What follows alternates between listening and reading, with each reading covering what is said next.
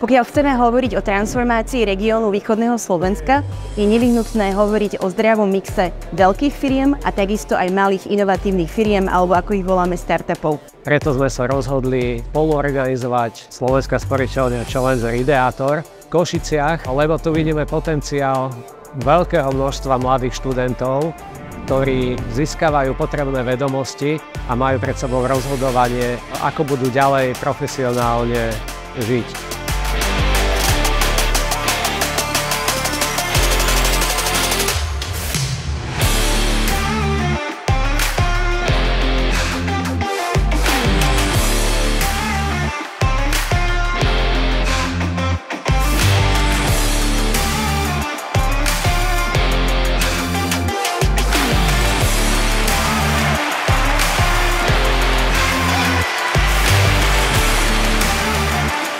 Program Challenger Ideator je o podpore podnikavosti.